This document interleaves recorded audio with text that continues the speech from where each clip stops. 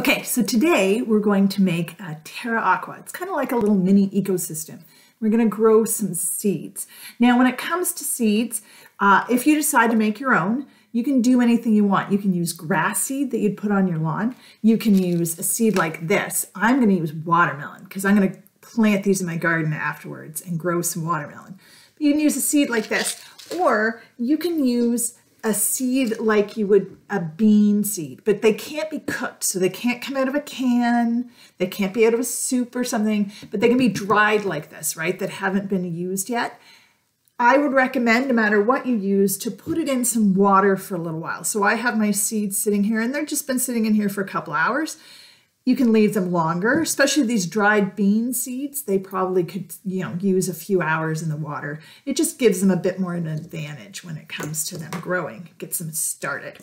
So you only need stuff from your house, but if you don't have any of these things, you don't have any seeds, um, you don't have any soil, you live in an apartment, this is really hard for you to do, that's okay. You can always just watch this video and use mine as your example. So you have two things you can do. You can either make one, and if you make your own, please send me a picture of it when you're done making it today so I know you made your own. I'll give you a few bonus marks for that.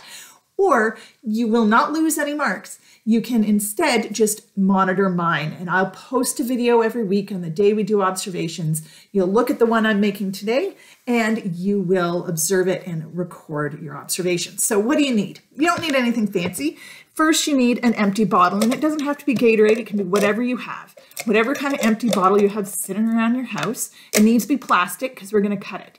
And you'll notice what I did is I took my bottle and I measured from the curved part I measured down a couple centimeters, then I made a mark and I cut it. So I have two parts. So this is going to contain the water and this is going to contain the soil. The other thing I've already done is I've drilled a hole in my cap, a nice big hole. Now, if you don't have a drill, that's fine. You can put a nail through it and then pull the nail out. Or you can try to push scissors through, but whatever you do, do it carefully. Do not harm yourself. Do not harm your table. Be kind, right? Uh, again, if you can't do this stuff, then monitor mine, right? So this is what we're going to do. We're going to first start by creating a system to get water from our reservoir up into our soil. And to do that, we need a piece of cloth. And this is just an old rag. I washed it, so there's no chemicals in it. It's nice and clean. And it needs to be a bit longer than your actual uh, water reservoir. I probably made mine a little long, but that's okay. Too long is better than too short. And I'm going to put it in through the top. So you'll notice not the inside part, the outside part. So I'm going to just take this and I'm going to shove it through using a pen just to get it through the hole. That didn't work very well. It was working. Uh, so I'm going to shove it through the hole so it comes out the other side and I'm going to pull it through so that I have a nice big chunk out the other side. And this is going to act like a wick.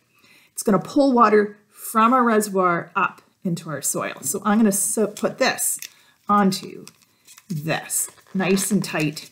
So now it's hanging down like this with a chunk on the inside. Now I need to fill my water reservoir. So we're going to put water in at 50 milliliters a time, and then we're going to mark it with a pen, a piece of tape, anything you have that you can make a mark that won't be erased right? So don't use something that's erasable. This is a permanent marker, so it should be fine. So I'm going to take 50 mils, which is about a quarter of a cup.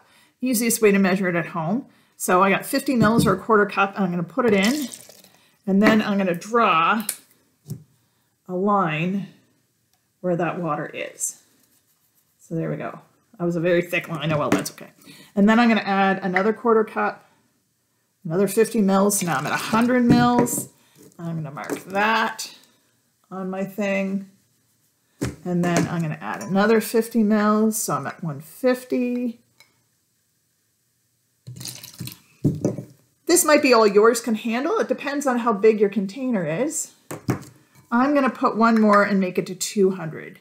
And the reason we want to mark these is we want to monitor how much water did we start with and then how much water is the plant using through the process. So you'll notice I now have four lines, one for each 50 mils. So 50, 100, 150, 200 mils of water sitting there ready to go. Now I need my soil part. So in this, I'm going to put this in and you'll notice now it's going to sit in the water, right? And it's going to pull water up from the bottom into my soil. So I'm going to just take potting soil. So this I got in a bag. The reason I got it is because it has some nice white things. These help retain water, helps a lot with the growing. But if you don't have potting soil, just get some out of the garden. Perfectly fine. Just don't dig up your neighbor's garden or harm anything, right? Ask permission. Take a bit of soil, and we're just going to put that soil into this inverted top. So I end up with a little planting area. So I'm going to fill it so it's almost full. And then I'm going to add my seeds that have been soaking. So I have four, see, one, two, three, four watermelon seeds. So I'm going to add my four watermelon seeds. I'm going to kind of spread them out. I don't want them side by side. It doesn't help if they stick to your finger. So I'm going to spread them out. And we're going to watch to see how these grow. So I'm going to kind of spread them out around the outside. Whoop, that one stuck to my finger. Get in. There. And then I'm going to put one in the middle, if it will let me. There we go. There's three. The fourth one does not want to go. There we go, four. So I've spread them out, and then I'm going to add a bit more soil on top. There we go. And then I'm going to add some water at the end because I want these nice and wet to start with because seeds need a lot of water to decide to begin. And the trick to this is now that I've planted it, and we're ready to go, I shouldn't have to water it. I'm just going to put this somewhere nice and sunny so it gets some nice sunshine and I'll let it do its thing. So it should be its own ecosystem. I shouldn't have to do anything. What do you need to do today though? You do need to fill in your initial observations. So you need to look at the water and you need to look at how much water and you need to look at the soil and you need to remember what kind of seeds you used, and how many I put in. I put in four. You, if you're doing grass, I would add a whole bunch, right? Count it out. Maybe add 20 seeds, 30 seeds, something like that. If you're, because they're just tiny. If you're doing something like beans, again, you know, beans, four or five, perfectly fine, right? My watermelon, I put four in there. You want to just give them a chance to grow, whatever you have. You can even try the seeds from an apple that you ate, right? Pull them out of the core. Try planting them. See if they grow. They should, technically. They should grow. So, if you make your own, make it, take a picture of this, send it to me so I know that you did it. If you're going to use mine, you might want to rewatch this video after you open the initial uh, initial uh, observation sheet and fill that in. Happy growing!